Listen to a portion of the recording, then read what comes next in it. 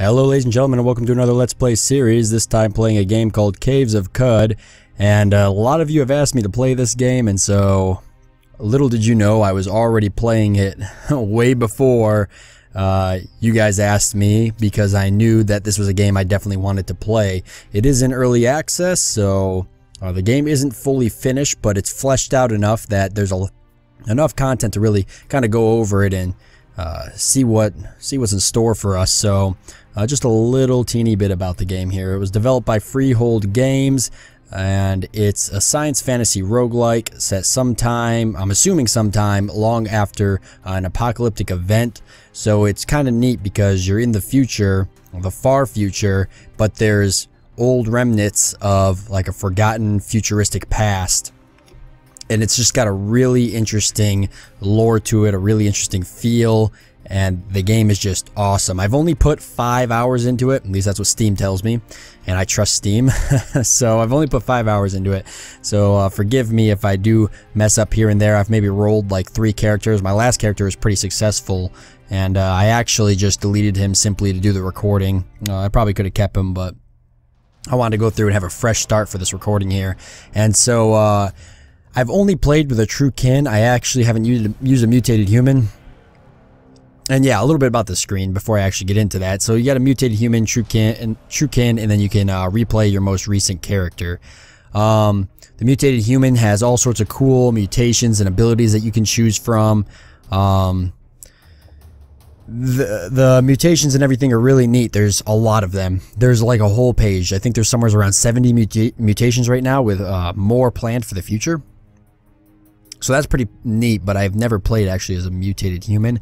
Then there's the true kin. Uh, you get high starting attributes, uh, 20 bonus skill points each level, uh, bonus resistance based on arcology of origin. Yeah, you get all sorts of uh, really uh, interesting things. And so the mutated human, though I really want the mutation kind of things, I really like the true kin just because I like the thought of like being, I guess, a, a true human with no mutations. And so, uh, since the True Kin is what I've really been playing the last uh, couple of games, that's what I'm going to roll here because that's what I'm most familiar with, and I don't want to take any chances. So we've got all of our uh, attributes here that we can go through and choose to raise up. So I'm just going to go through. I'm going to dump a lot of points into strength. We want to be strong because my goal I think is to wield a long sword. That's what's been working for me so far. I want to be rolling around with a long sword. So we're definitely going to go with strength, get agility up there. Let's get it up to 17. Let's kind of get these all baselined here, and then we'll kind of decide what's really important. I think that's about good, actually. It could actually go like this. I think toughness is definitely going to be important. Um, maybe not that important. Intelligence would be important as well. Intelligence will help you um, examine artifacts and such, you'll come into lots of artifacts in the world that'll simply just be marked as artifact. And then if you examine them, you could find out they could be really powerful things or they could be useless. It's hard to say, although nothing seems to be too useless in this game. I found a use for almost everything. Uh, agility seems pretty important to dump into. I'd like to get that up. Uh, willpower, uh, frequency with which you may use your mental mutations, your hit point regeneration rate, and your ability to resist mental attacks. So kind of important in a way. Um, but it doesn't help me because I don't have any mental mutations. And I'm not sure if you can get mutations if you start as a true kin throughout the game. As I've yet to come past any. So I'm not sure. This, this lower, yeah, so we want that to 18. We want to have as much hit points as we can.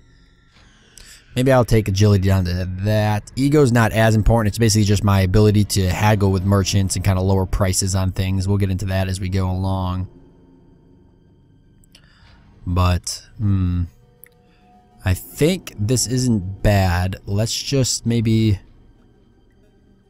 take one off of that. That gives me 20, and it gives me two more points.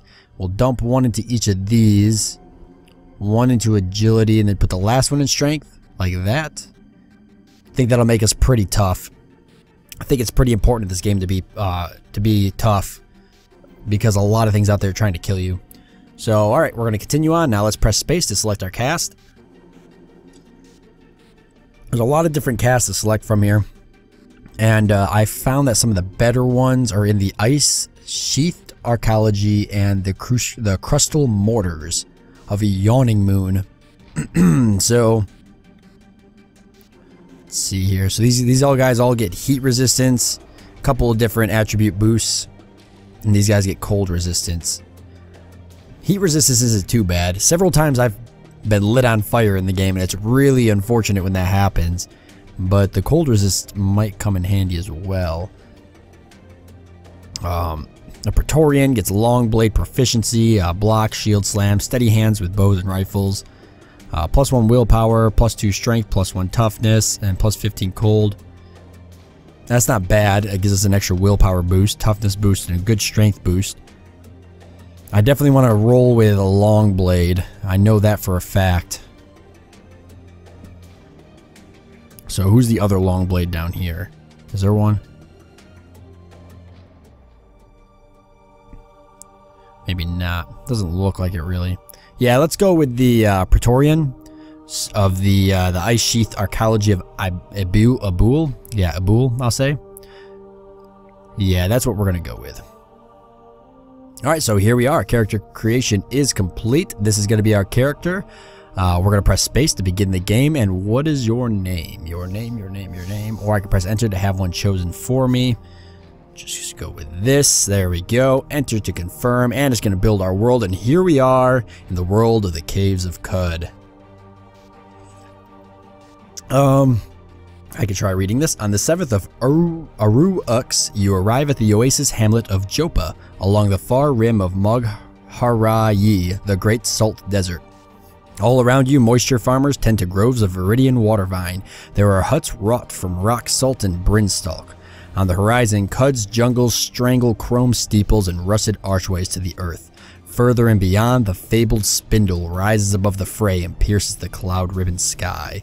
Really nice. I like. I just like the way it's all really put together. If you actually look there too, you can see how it says kind of like Qud's jungles strangle chrome steeples and rusted archways. So kind of talking about how there's buildings in the distance, but they're they're old, falling apart buildings, you know, cities that have fallen and stuff like that. And then a fabled spindle, which I'm guessing is maybe like a big monument or a big building that was built uh, hundreds of years ago, and everybody's kind of forgotten about that that period of time.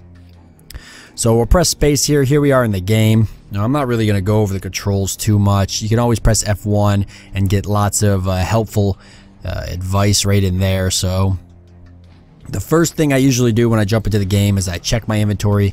I like to see what I started with because you kind of start with something different every time. So we've got a chem cell, uh, some food cubes, a torch, some salve injectors, which are basically like uh, heal for healing and such, and uh, some water skins with water, some fresh water. Fresh water is very important in this game. So far, the only way you can really achieve uh, or to get fresh water, I, I figured out for the most part, is trading. So you have to trade to get fresh water, so it's pretty important that you have it. Uh, food is pretty important as well, but we can kind of get that on and on. And in our equipment, so we press E here to get into our equipment. On our body, we're wearing a willowy reinforced chainmail. We have a Praetorian's cloak, a steel shield, a desert rifle with three rounds in it, a steel longsword, some leather boots, and a stun gas grenade. Okay, that could come in handy. If we actually look at some of these, I think if I press L, I can look at it and it'll tell me a little bit about it. Uh, nothing too much for that there. now let's look at the armor real quickly, something I do want to go over. This item weighs much less than normal, reinforced plus one AV, AV being armor value. And if you look there, you've got the diamond and then the circle, the kind of the empty circle right there. So the diamond is like your armor value, you know, how much it can block or take da damage and such like that, absorb damage. And that circle there, that is your dodge value. So that is how quick you can move wearing this item and dodge an enemy's attack. So as you can see, this willowy reinforced chainmail gives us a minus one dodge value. So it's actually not good for our dodge, but it's really good for our armor value. So sometimes you've got to weigh things out. Chances are if something has a really high armor value, it's going to have a lower dodge value because it's going to be heavy. And the Praetorian's Cloak gives us a 2 dodge value, so that kind of helps us, uh, kind of cancels out and gives us plus 1 for this reinforced chainmail, which is nice. Alright, so that's our inventory. Now the next important thing to do is usually go through and rob these good people in this village. And what I mean by that is if you go into these homes here and then you close the door, you can go into their chests. It'll say that is not owned by you. Are You're sure you want to open it. and you say yes and you open it and steal everything. So far, I've yet to see anything come of this.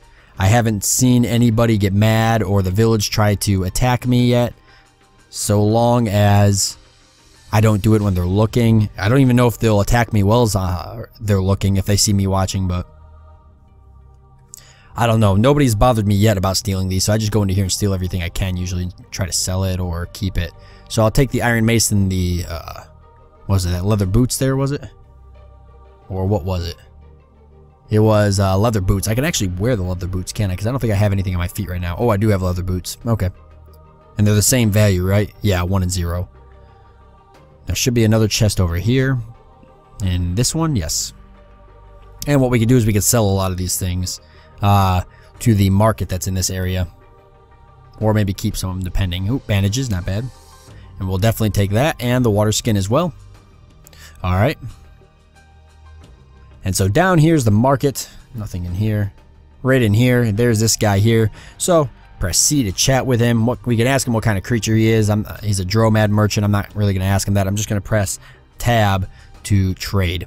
And so the stuff on the left is what he has, and the stuff on the right is what we have. And so I'll explain a little bit about what's going on here uh, through trading. So I'm going to press O I'm sorry, not O. I'm going to press the uh, plus sign to offer him some of these items. We'll give him these leather boots since I don't need them. They're worth $3.85. And one thing to, uh, to note right now is that there's actually two types of currencies in the game. So there's your cash, which is how much things are worth, as you can see the money signs and whatnot. So you have a certain amount of cash. Mine is in yellow at the bottom of my screen. And then you'll notice there's drams. 3.8 drams, and that's how much fresh water you have.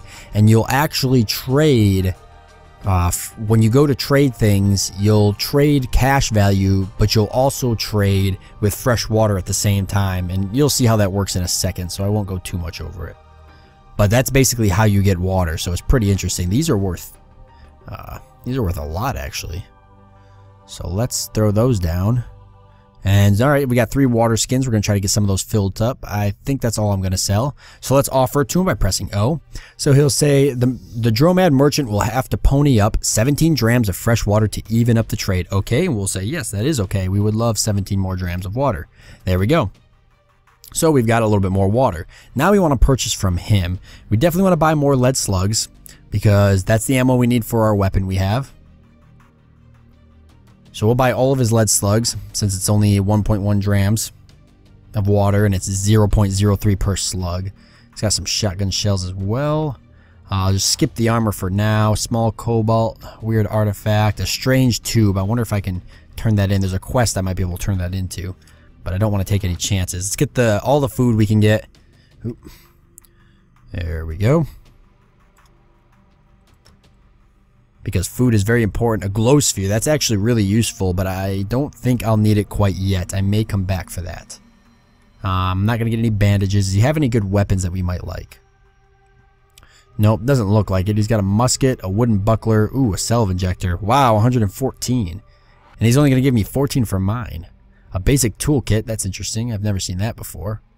Then some catines and some water skins. Well, I've already got two empty water skins, so I'll just keep them. Basic toolkit. Um, not sure I know what that is. A small metal box with an assortment of basic tinker tools increases the likelihood of recovering additional bits when you disassemble an artifact. Okay.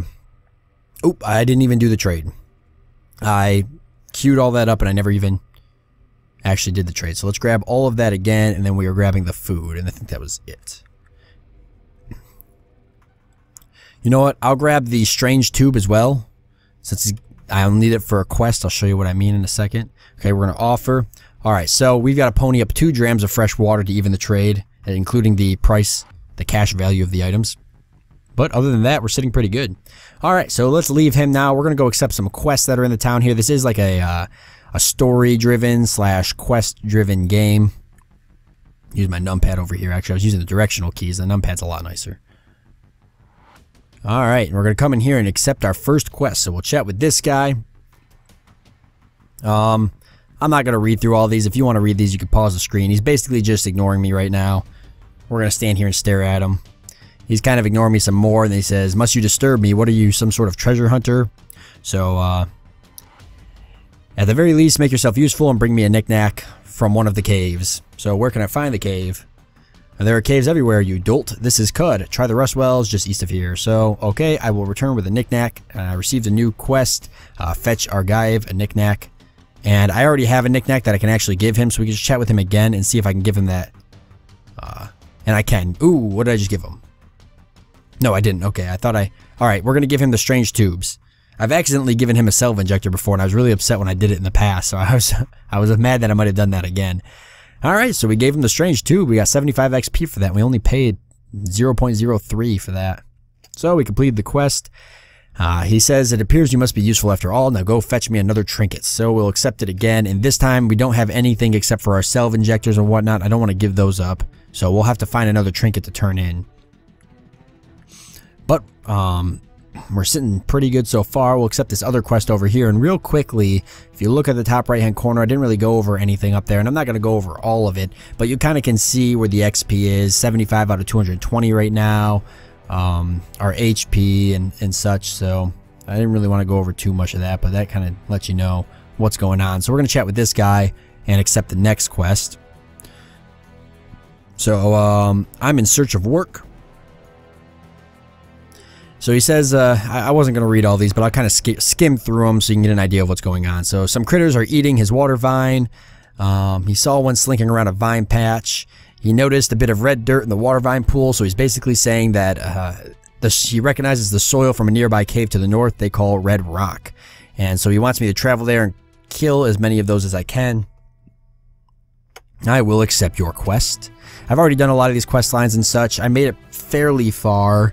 Um, in the game. Well, not fairly far, but I, I made it a good distance. But there we go. So those are the only two quests that I know of that we can accept in this town. Now the most important thing to do actually is to go out and find food and level up. So that's what's really important right now. And this just tells me a little bit about the map. I already know how the map works.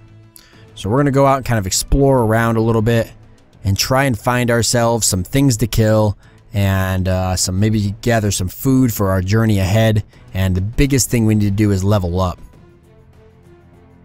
As you can see, you move across the map. The interface kind of jumps around, is kind of interesting. I've never really seen anything like that before. Alright, we're going to kill these glowfish here. Um, because you can eat them, actually. And they're pretty good food. So we'll just uh, kill him, and then we press G to pick him up. You can see in the bottom right-hand corner where our log is, we got a glowfish corpse. Kill this one as well. This glowfish seem to be very good food.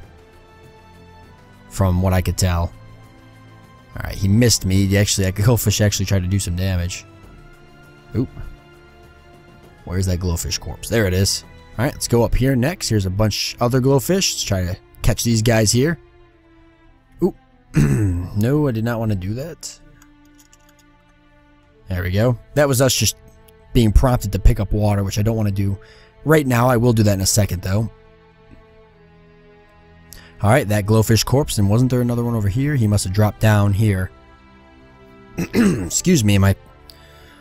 I got like an itch in my throat for some reason. Alright, pick that one up. There we go. We got that one. Okay, and then we'll get this last one. That should be more than enough.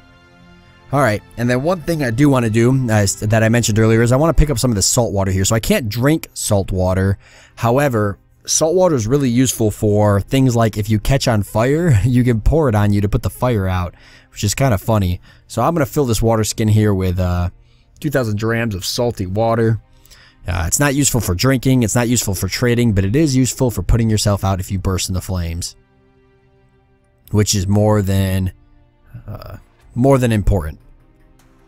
Alright, so we're not going to level up off of killing glowfish. I need to go find something else to kill to help me level up. What's up here? Looks like a road, maybe. I could probably follow this road. I'm not entirely sure if I want to do that. However, uh, I'll think about that, and I'm going to end this episode off here. So, I hope you guys did enjoy it. I hope you're excited for some Caves of Qud. I'm very excited to see how far we can get, and I look forward to seeing you next time.